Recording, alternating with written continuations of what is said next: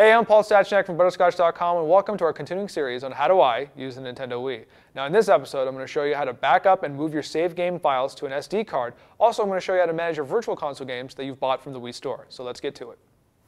Now, if you recall my previous series on the, uh, the Wii, you'll know that if you go down to the Wii options, you'll have an option here to do data management. So that's the first screen that comes up. If we click data management, we have two options here between save data and channels. We're going to get to both today. But right now, I want to take a look at save data. And again, we have an option between Wii and uh, Nintendo GameCube. GameCube will be covered in another series, so let's hit the Wii. As you can see, this basically, right here, are all the different blocks that I have for, uh, for game saves. As you can see, I have 1758 blocks free. That's Nintendo's sort of management, memory management system. Don't really know what it means. If we uh, go up here to the top, here's my SD card.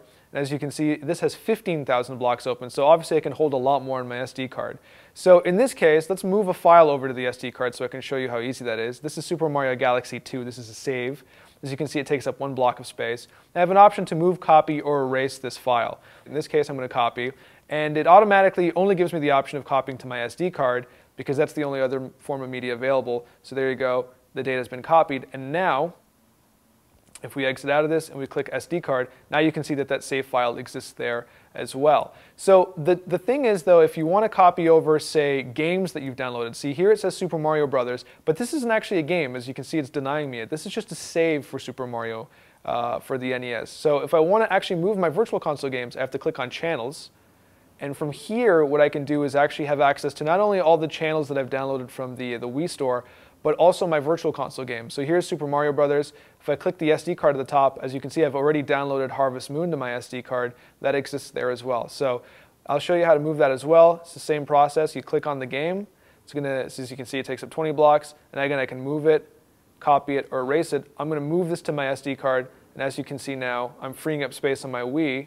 So you'll see that 1758 goes to 1777. And uh, now in my SD card, not only do I have Harvest Moon, but I also have Super Mario Brothers. Now, bear in mind, the weird thing about the Wii is that you can't play games off the SD card. It's just this weird system that they have. So if I go to the SD card menu, you'll see I have my two games. If I, for instance, I wanted to play Harvest Moon, I will not be able to play the game off the SD card. What the system does is, I click on it here, it's going to have an option to start.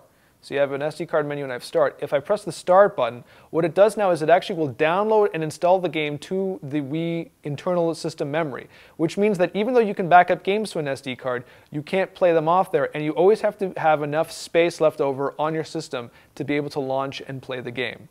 So bear that in mind when you're downloading Virtual Console releases and you're backing them up to your SD card as well. So hopefully you have a better idea now of how to manage the data on your Wii or SD card. And in the next episode, I'm going to show you how to turn your Wii into a GameCube. And remember, for anything I talked about here, check out the show notes at butterscotch.com, and I'll see you next time.